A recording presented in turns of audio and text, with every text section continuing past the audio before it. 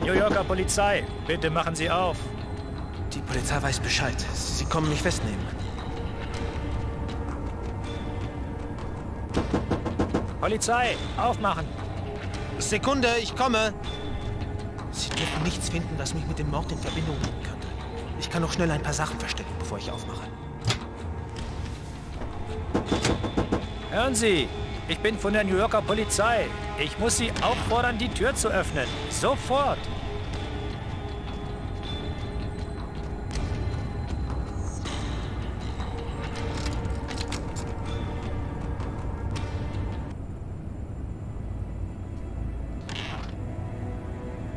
Es tut mir leid, ich habe Sie warten lassen. Ich stand unter der Dusche.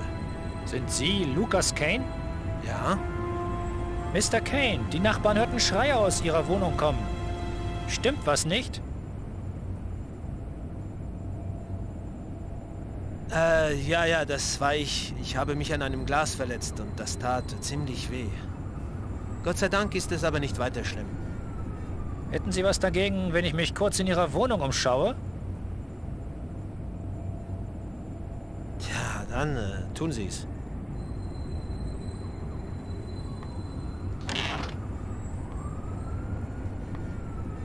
Was ist denn mit Ihren Handgelenken los? Ich sagte doch, ich habe mich unglücklich an einem Glas verletzt. Mann, oh Mann. Wenn Sie sich schneiden, dann aber gründlich, was?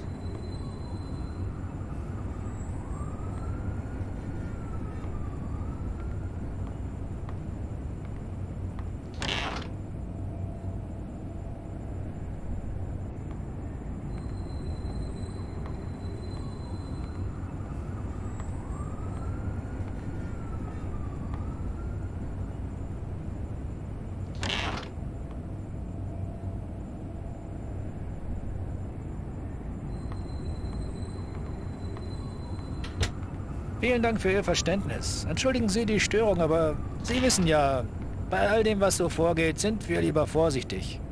Natürlich. Schönen Tag noch.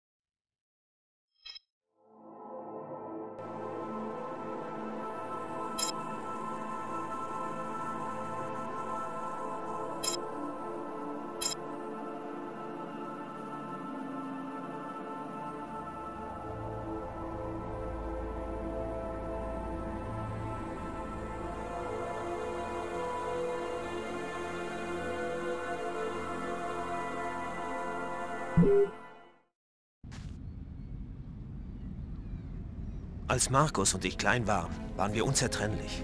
Er war es, der sich nach dem Tod unserer Eltern um mich kümmerte. Als er dann Priester wurde, trennten sich unsere Wege. Aber er ist noch immer der Einzige, dem ich vertrauen kann. Der Einzige, der mir glauben könnte, dass ich mit all dem nichts zu tun habe.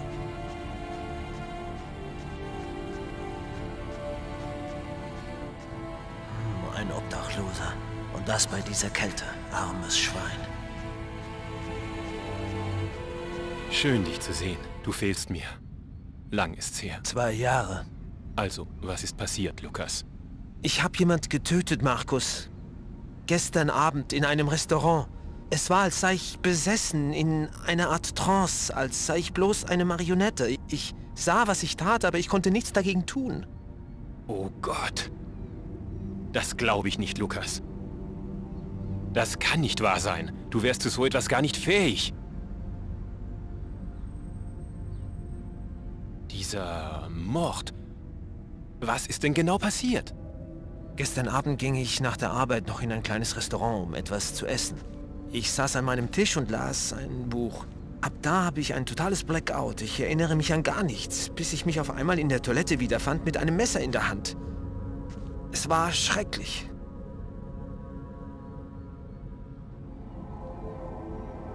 Und schau her, hier. Warst du das? Vor dem Mord ritzte ich mir mit einem Messer diese Symbole in die Arme. Ich weiß nicht, was sie bedeuten.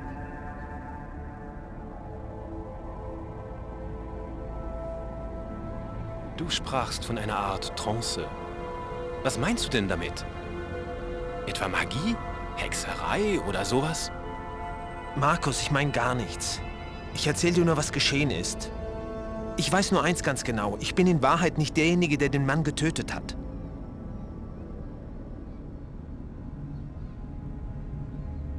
Was ist mit mir los, Markus? Was soll ich denn jetzt bloß tun? Du kennst mich am besten, Markus. Hilf mir. Nun, Lukas. Ich weiß nicht recht weiter.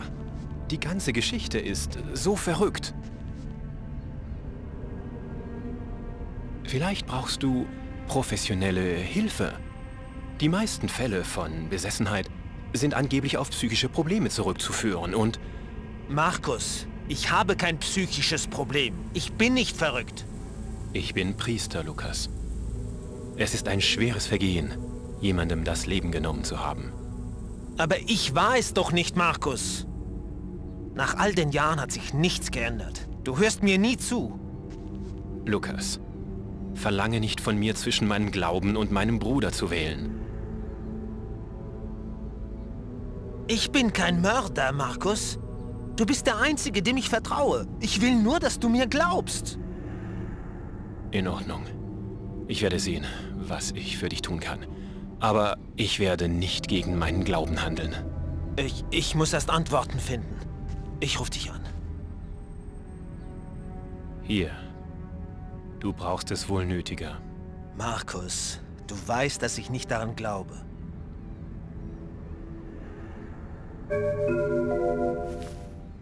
Danke.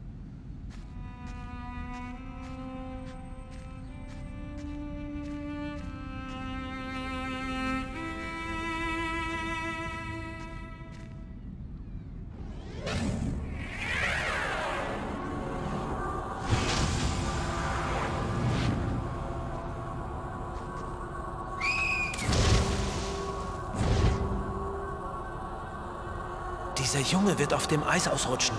Das muss ich verhindern. Der Polizist vom Restaurant. Wenn ich nichts tue, stirbt das Kind. Aber wenn ich etwas tue, erkennt mich der Polizist. Was mache ich bloß?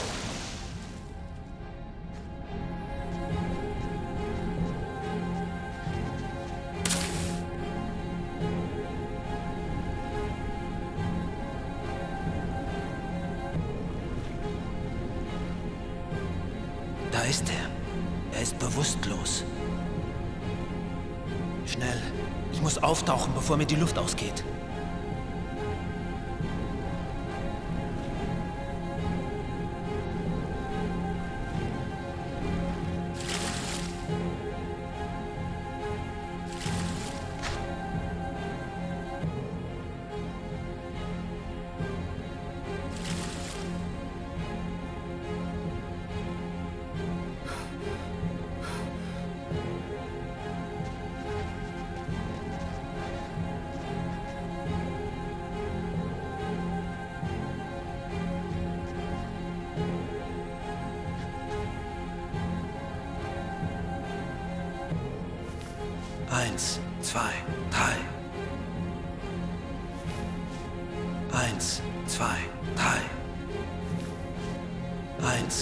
Zwei, drei.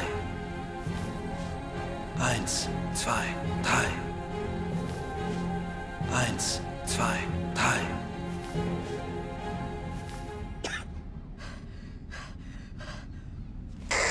Patrouille 324. Ein Kind ist ins Wasser gefallen. Schicken Sie den Notarzt. Mann, tät nicht jeder. Das Kind wäre sonst tot. Das ist ein Held. Er sprang ohne zu zögern ins eiskalte Wasser. Ohne ihn wäre das Kind da nicht mehr lebend rausgekommen. Der Polizist hatte mich erkannt. Das war sicher. Warum er mich wohl nicht festnahm? Vielleicht meinte er, wir wären quitt. Ich hatte ein Leben genommen und eins gerettet. Trotzdem wurde ich natürlich weiterhin von der Polizei gesucht. Aber als ich den Park verließ, wusste ich, dass ich mich nun wieder im Spiegel ansehen konnte, ohne mich vor mir selbst zu ekeln. Für einen Polizisten habe ich die verdammt schlechte Angewohnheit, mich von dem Fall, in dem ich gerade arbeite, total einnehmen zu lassen. Ich bin völlig fertig. Ich habe die ganze Nacht kein Auge zugetan. Irgendwas an dem Fall ist faul. Aber ich kann zum Verrecken nicht sagen, was.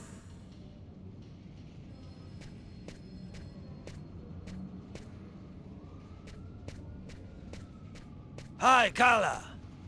Wie geht's denn so? Hi, Doug. Ganz gut. Ist Tyler schon da? Nein, ich glaube nicht. Und? Rückt die Pensionierung näher? nicht schnell genug.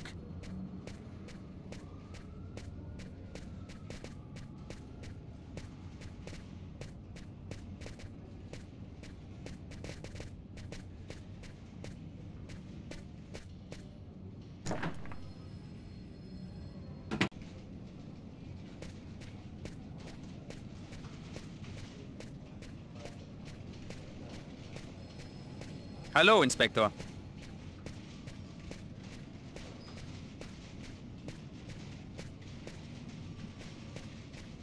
Hallo, Carla. Hey, Carla! Bestell deinen Partner, er soll mir die 100 Kröten zurückzahlen. Die schuldet ihr mir seit sechs Monaten. Geht mich nichts an, Jeffrey. Red selbst mit ihm. Der meidet mich aber wie die Pest. Außerdem hört er hier nur auf dich. Bis später, Jeffrey.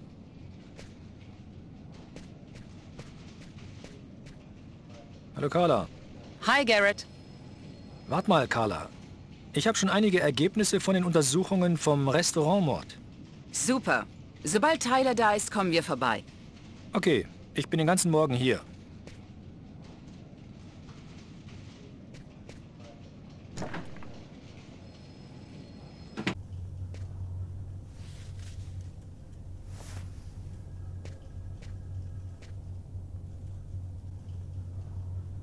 Tyler ist noch immer nicht da. Ich ruf mal bei ihm an.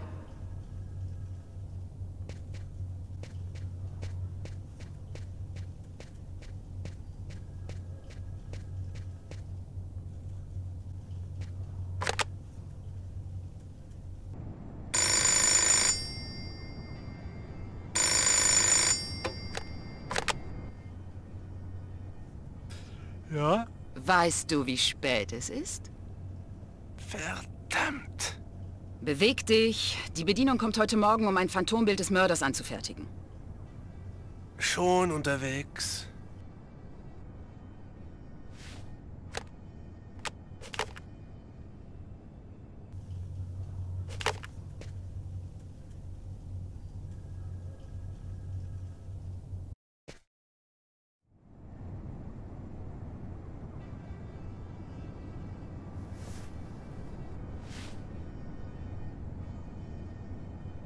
Doch noch ein bisschen. Hm, tut mir leid, aber ich muss jetzt los. Ich mach uns Kaffee. Okay, ich spring unter die Dusche, zieh mich an und dann bin ich weg.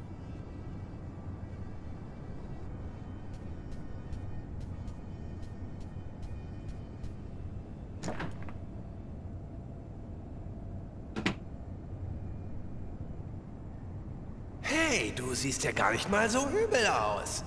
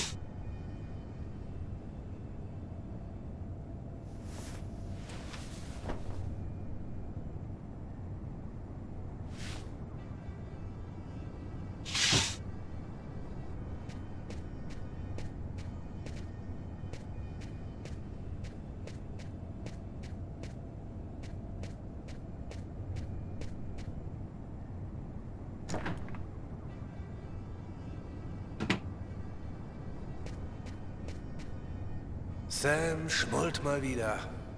Und ich weiß auch warum.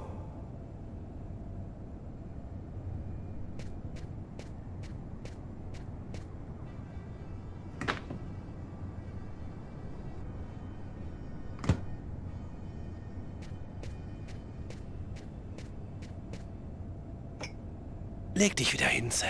Du holst dir sonst bei der Kälte noch den Tod. Ich friere nicht.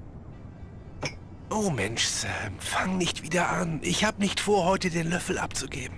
Das macht mich allmählich wahnsinnig. Ich sterbe jeden Tag vor Angst, dass dir etwas zustoßen könnte. Ich verstehe dich ja, Sam. Du brauchst eben Zeit, mehr nicht. Es tut mir weh, dich so zu sehen. Das weißt du doch, Baby. Und wenn du kündigst? Wir könnten den Laden meiner Eltern in Florida übernehmen, ein normales Leben führen und ein Baby bekommen. Ich will kein normales Leben führen, Sam. Zumindest jetzt noch nicht. Du musst eben versuchen, mich so zu nehmen, wie ich bin und meine Wahl akzeptieren.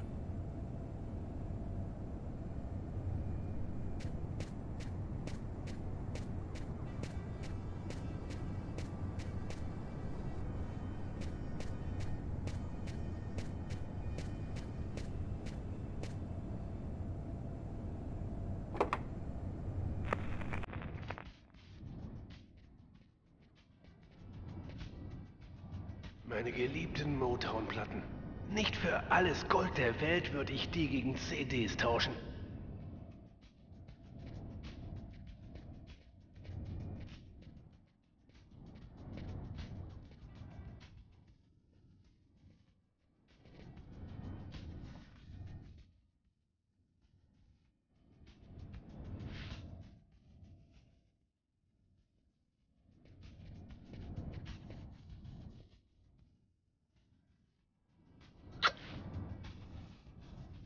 Ich liebe dich.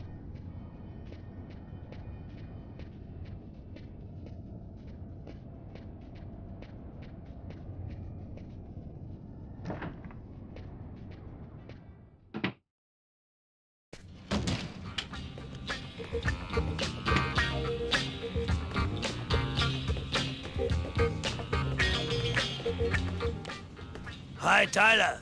Oh, äh, Carla sucht dich. Ja, ich weiß. Und? Rückt die Pensionierung näher? Ja, Gott sei Dank.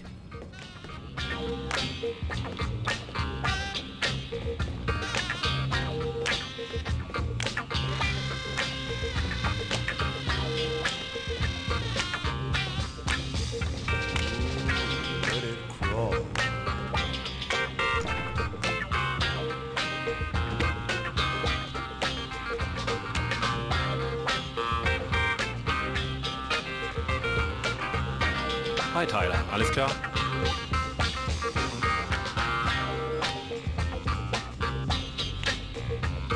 Hey Tyler, welch ein Zufall. Ich hab dich schon überall gesucht. Oh, Mist. Erinnerst du dich, dass ich dir vor einem halben Jahrhundert Piepen geliehen habe? Ich wäre dir dankbar, wenn ich sie möglichst bald zurückkriegen könnte. Zum Beispiel jetzt sofort. Jeffrey, glaubst du an Jesus Christus, Gottes Sohn? Denn er glaubt an dich. Und da oben von seiner Wolke aus sagt er dir, Geld ist unbedeutend, Jeffrey. Das Einzige, was wirklich zählt, ist Liebe. Wirklich sehr lustig, Tyler. Und jetzt rück die 100 Dollar raus, bevor ich sauer werde. Ich schlag dir was vor. Wir spielen eine Partie Basketball um deine 100 Dollar. Gewinnst du, gebe ich dir auf der Stelle 200 Dollar. Aber wenn ich gewinne, sind wir quitt. Wenn ich gewinne, kriege ich 200 Dollar? Ich gebe dir mein Wort. Abgemacht. Aber lass dir nicht im Traum einfallen, nicht zu zahlen, wenn du verlierst. Kapiert? Keine Sorge, Jeffrey. Sobald ich Zeit für eine kleine Pause habe, komme ich zu dir.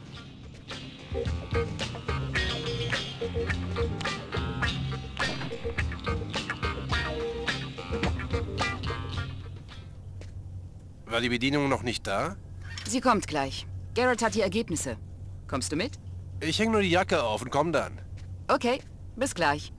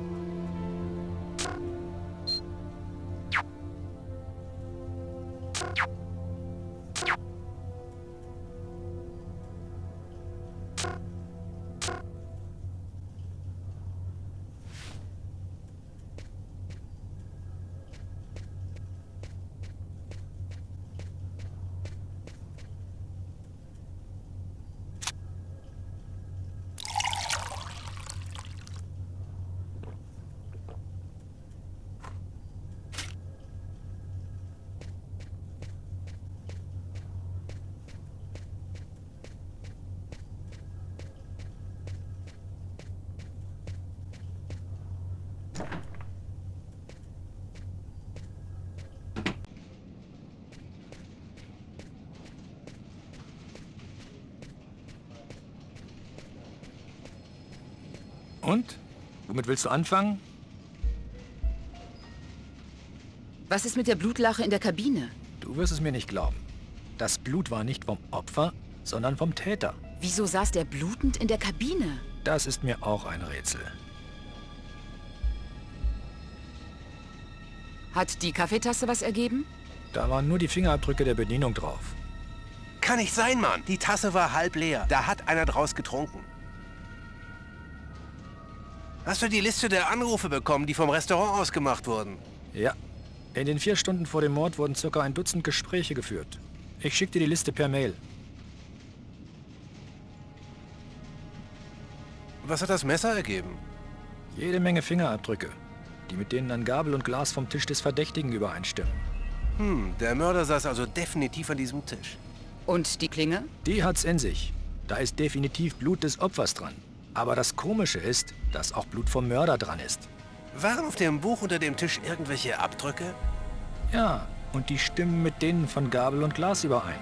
Es war also definitiv sein Buch. Und das sah ganz schön alt aus. Vielleicht ist darüber noch irgendwas rauszufinden. Und? Was haltet ihr von all dem? Ich kann mir die Blutspuren in der Toilettenkabine nicht erklären. Das Opfer hätte den Täter in einem Gerangel verwunden können. Aber wieso hätte das in der Kabine sein sollen? Man könnte meinen, der Täter habe sich selbst verwundet. Wieso nicht? Jedes Metier hat so seine Schusselköppe. Mörder wohl auch. Die Erklärung erscheint mir etwas dürftig. Jedem das seine, Carla. Ich arbeite im Labor und du suchst nach Erklärungen. Danke für deine Hilfe. Bis später. Und, was machen wir jetzt? Du kümmerst dich um das Phantombild. Ich frage in der Gerichtsmedizin nach, ob die Autopsie irgendwas ergeben hat. Okay, bis nachher. Bevor ich zum Gerichtsmediziner gehe, könnte ich in meinem Büro noch eben die Mails checken.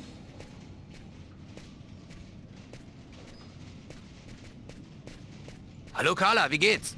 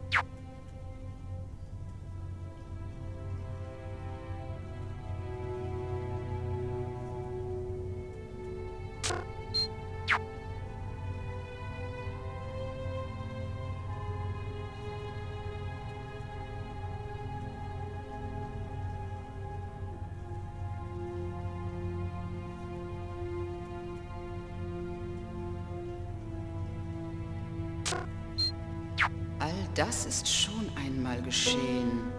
Kirsten. Was das wohl heißen soll.